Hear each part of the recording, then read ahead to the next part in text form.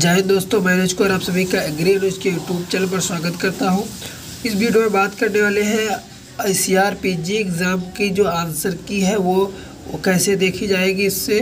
तो आप लोग यहाँ पर देखिए, आप लोगों को सरकारी रिज़ल्ट पर जाना है। वहाँ से ए की आंसर की पर जो है क्लिक करके यहाँ पर इस इस पेज पर आना, जाना है। यहाँ से आप लोग स्क्रॉल करेंगे, क्योंकि आई सी आर पी जी की यहाँ देखिए यहाँ पर डाउनलोड आंसर की आ चुकी है U G P G H D इसकी आंसर की। तो इसमें आप लोग जैसे कि आपको पी जी की देखनी है तो आप लोग, जैसे कि आपको दिखाए कि यू जी की।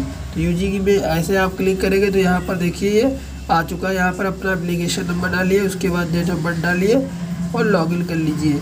यहाँ से आपका जो है नेक्स्ट पेज ओपन हो जाएगा। आप वहाँ से अपनी जो है आंसर की मिला सकते हैं। नेक्स्ट बात करें अगर अगर पीजी की तो पीजी में आप करेंगे पीजी की आपकी जो है आंसर की यहाँ से डाउनलोड कर सकते हैं पीजी पर क्लिक करके, जो कि अभी आई नहीं हुई, इसीलिए आपको दिखा नहीं रहा है पीजी जगनेसर की आंसर की ये जो है आपकी आंसर की है पीजी की, वो आपकी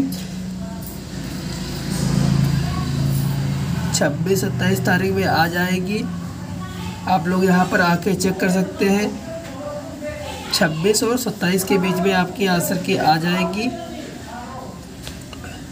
क्योंकि इस बार आंसर की जो है और जो तैयारी है आई की, वो बहुत तेज़ी से चल रही है और जल्द ही जल्द इसका है, रिज़ल्ट भी जारी हो रहा है। जैसे कि आपका 11 तारीख को सी का हुआ था, उसके बाद 16 को आपका जो है आंसर की जारी कर दी गई थी। तो उस हिसाब से आप लोग मिला लीजिए, लेकिन पिछली बार जो है सी में क्या हुआ था कि इसमें जो है आंसर की सरकारी रिज़ल्ट पे नहीं सो हुई थी, डायरेक्ट एनडीए की नोटिस पर शो हुई थी वेबसाइट जो है उसमें। तो आप लोग इसे भी ध्यान रखिएगा एनडीए की वेबसाइट चेक भी करते रहिएगा, वहाँ पर आपको आंसर की मिल सकती है छप्पन, छब्बीस से सत्ताईस के बीच में। आई होप आपको यह जानकारी अच्छी लगी, मिलते हैं नेक्स्ट वीडियो तब तक के लिए जय हिंद।